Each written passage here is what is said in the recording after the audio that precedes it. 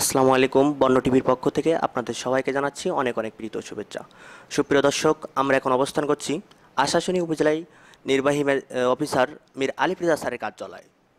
তো সুপ্রিয় দর্শক, আপনারা ইতিমধ্যে দেখেছেন আমাদের উপজেলা নির্বাহী অফিসার মীর আলিপ্রিজা স্যার, তিনি অক্লান্ত পরিশ্রম করে চলেছে।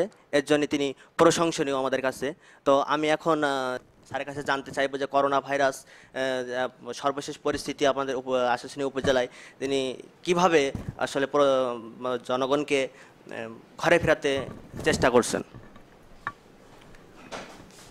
ধন্যবাদ করোনা ভাইরাস মোকাবেলায় জেলা প্রশাসনের পরামর্শক্রমে আমরা উপজেলা প্রশাসন, আমাদের আইন শৃঙ্খলা বাহিনী, সেনাবাহিনী সমন্বয় করে আমরা কাজ করে যাচ্ছি। শুরুতে আমাদের যে বিষয়টা নিশ্চিত করতে হয়েছিল সেটা হোম কোয়ারেন্টাইন। প্রাথমিকভাবে জেলা প্রশাসনের মাধ্যমে আমরা বিদেশ ফেরত যে সমস্ত ব্যক্তিদের তালিকা পেয়েছিলাম, তাদের আমরা হোম কোয়ারেন্টাইন নিশ্চিত করি। পরবর্তীতে বাংলাদেশের অন্য জেলা থেকে আগত ব্যক্তিদেরও আমরা হোম কোয়ারেন্টাইন নিশ্চিত করি এবং আমরা তাদের কিছু কিছু জায়গায় প্রাতিষ্ঠানিক কোয়ারেন্টাইনও রাখতে হয়েছে। এক্ষেত্রে আমাদের ইউনিয়ন পরিষদের চেয়ারম্যান ইউপি সদস্যবৃন্দ, গ্রাম পুলিশ সিপিপির সদস্য সহ আরও অনেক ভলেন্টিয়ার আমাদেরকে সহযোগিতা করেছে। আমরা বাড়ি বাড়ি গিয়ে সেই বাড়িগুলো পরিদর্শন করেছি যে তারা হোম কোয়ারেন্টাইন মানছে কিনা। তাদের ওখানে সিল মারা হয়েছে বাড়িতে এবং বাড়িতে বাড়িতে লাল ফ্ল্যাগ দিয়ে নিশ্চিত করা হয়েছে। পরবর্তীতে জেলা প্রশাসক স্যারের নির্দেশক্রমে আমরা ওয়ার্ড পর্যায়ে কমিটি করে দিয়েছি। এই কমিটির মাধ্যমে হোম কোয়ারেন্টাইন নিশ্চিত করা হচ্ছে এবং এখন পর্যন্ত এগারোশোর মতো আনুমানিক এখনও হোম কোয়ারেন্টাইন রয়েছে। আগামী এক সপ্তাহের মধ্যে আমরা আশা করছি যে হোম কোয়ারেন্টাইন যারা আছে, তাদের হোম কোয়ারেন্টাইন শেষ হয়ে যাবে। আমি স্যারের কাছে জানতে চাইব যে আমরা ইতিমধ্যে যুগান্তর পত্রিকায় প্রকাশিত একটি নিউজ আমরা দেখতে পেয়েছি যে ওইখানের সিটি মেয়র জাহাঙ্গীর আলম, তিনি মসজিদ মুসল্লিদের জন্য উন্মুক্ত করে দিয়েছে। তো আমি স্যারের কাছে জানতে চাইব, যেহেতু আমাদের সাতক্ষীরা জেলায় এখনও করোনার প্রভাব সেইভাবে আমরা দেখতে পাইনি, তো মসজিদ মুসল্লি উন্মুক্ত করে দেওয়ার ব্যাপারে আপনার কাছে কোনো তথ্য আছে?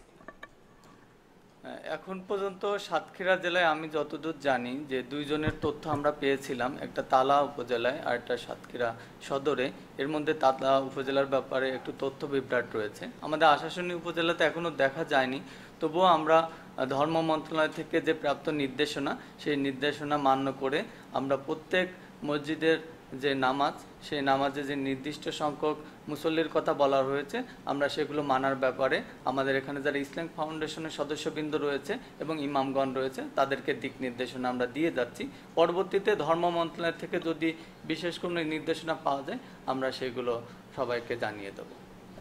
স্যারের কাছে আমার সর্বশেষ প্রশ্ন সেটা হচ্ছে যে সরকারি যে খাদ্য বরাদ্দ আসছে, সেগুলো সম্পর্কে আপনারা কীভাবে তদারকি করেছেন এবং জনগণের মাধ্যমে মাঝে কীভাবে পৌঁছে দিয়েছেন সে বিষয়ে আপনি আমাদের বলুন।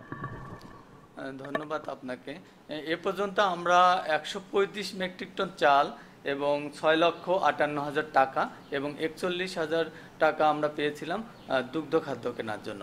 ইতিমধ্যে আমাদের যে সমস্ত খাদ্য সামগ্রী ছিল, আমরা ইউনিয়ন পরিষদের চেয়ারম্যানদের মাধ্যমে, ইউপি সদস্যদের মাধ্যমে, বাড়ি বাড়ি যে আমরা সামাজিক নিরাপদ দূরত্ব বজায় রেখে সেগুলো বন্টন করেছি, কিছু কিছু আমরা উপজেলা পরিষদের মাধ্যমে বন্টন করেছি।